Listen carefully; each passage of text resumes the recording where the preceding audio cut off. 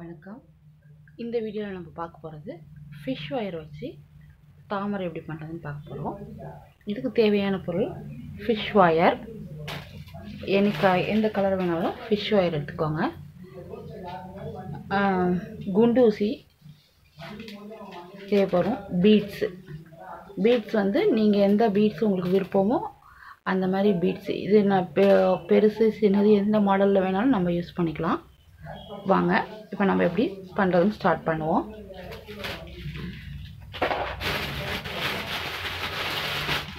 இப்போ நான் வந்து இன்னொன்று வந்து பால் பால் ரொம்ப முக்கியம். அதில் தான் நம்ம செய்ய போகிறோம் இப்போ பாருங்கள் இந்த பால் இது வந்து நான் சின்னதாக எடுத்திருக்கேன். இதிலே பெருசுலேயே எடுக்கலாம். இது வந்து சாஃப்டாக குண்டு ஊசி நல்லா இதில் வந்து குத்துற மாதிரி இருக்கணும். ரஃப்பானது இருக்கக்கூடாது. ஓகேவா இப்போ அதில் இது வந்து ஃபிஷ் ஒயர் இதெல்லாம் க்ரீன் எடுத்துருக்குறேன்.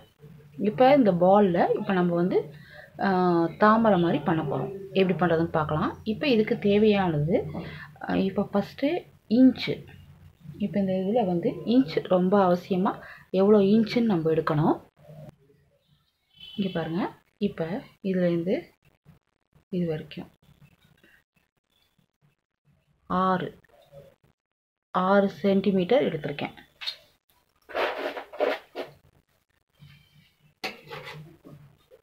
அதை கட் பண்ணிக்கணும். இப்போ இதே அளவு இப்போ நீங்கள் மடிச்சிங்கன்னா இப்படி இருக்கும். இது வந்து இந்த குட்டி பாலுக்கு இப்போது இதுலேயே நீங்கள் பெரிய பால் பண்ணிங்கன்னா டென் சென்டிமீட்டர் எடுத்துக்கோங்க. இல்லைன்னா எயிட் இப்போ இந்த அளவுக்கு எடுக்கணும். இப்போ இந்த அளவுக்கு எடுத்துட்டால் இது இப்படி மடித்து இது பெரிய பாலுக்கு கரெக்டாக இருக்கும். ரொம்ப பெரிய பாலாக இருந்ததுன்னா அதுக்கு தகுந்த மாதிரி சென்டிமீட்டர் ரெண்டு ரெண்டு சென்டிமீட்டர் ஜாஸ்தியாக போடுங்க. இப்போ இந்த அளவில் தான் இப்போ போட போகிறோம் இப்போ நான் வந்து இதுலேயே வெட்டுறேன் பாருங்கள் இதே அளவில் அடுத்தது.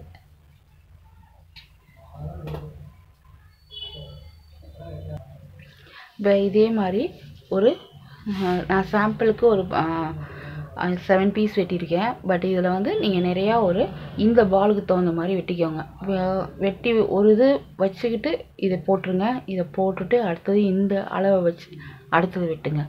வீணாக்காதீங்க. இப்போ இதில் இப்படி மடக்கி இப்போ நான் இந்த- இந்த ஃபஸ்ட்டு அடியில் ஓ இது அடி இல்லைன்னா இந்த இந்த கார்ன் அடியில். இப்படியே ரவுண்டாக சுற்றி வைக்கணும். இப்படியே இப்படி வைக்கணும்.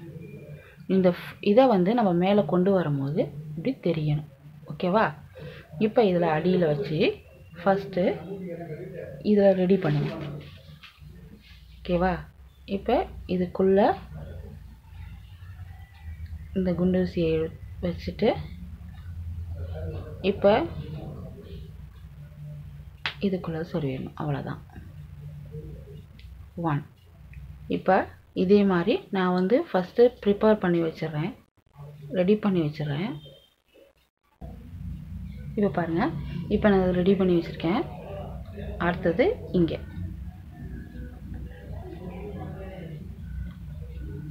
ரெண்டு. இப்போ அடுத்தது இங்கே. மூணு. நீங்கள் வந்து இந்த மாதிரி ரெடி பண்ணி வச்சிட்டிங்கனாலும் ஈஸியாக போட்டுடலாம் ஆனால் இதெல்லாம் ப்ரிப்பேர் பண்ணி வைக்கணும். ஓகேவா இங்கே பாருங்கள் இது மேலே பாருங்கள் இப்படி வரும். இப் இப்படி வரும். இப்போ இதுக்கு அடுத்தது இன்னமும் நான் வெட்டியிருந்தேன். இப்போ பாருங்கள் வெட்டி திருப்பியும் ரெடி பண்ணிட்டேன். இப்போ இதில் அடுத்தது. இதில் போட்டுருங்க. இதுக்கு அடுத்தது இதில். இப்போ ஒரு லேயர் முடிச்சாச்சு. இது அடியிலன்றதுனால நான் வந்து பீட்ஸ் வைக்காமல் பண்ணியிருக்கேன். இது பேஸ் இப்படி நிற்கிறதுக்காக பீட்ஸ் வைக்காமல் பண்ணியிருக்கேன். நீங்கள் பீட்ஸ் வச்சு பண்ணலாம் ஆனால் அடியில் நிற்காது இதுக்கப்புறமா இப்போ இதுக்கு இருக்கிற கேப்பில் ரெண்டாவது கேப்பில் இந்த இடம். இந்த இடத்துல பீட்ஸ் வச் பீட்ஸ் தேவையில்லை. வேணுனால் உங்கள் விருப்பம் அந்த ஃப்ளவரில் தெரியணும் அவ்வளோதான் கொஞ்சம் நவுத்தி நவுத்திட்டு இந்த கேப்பில் இதை வைங்க.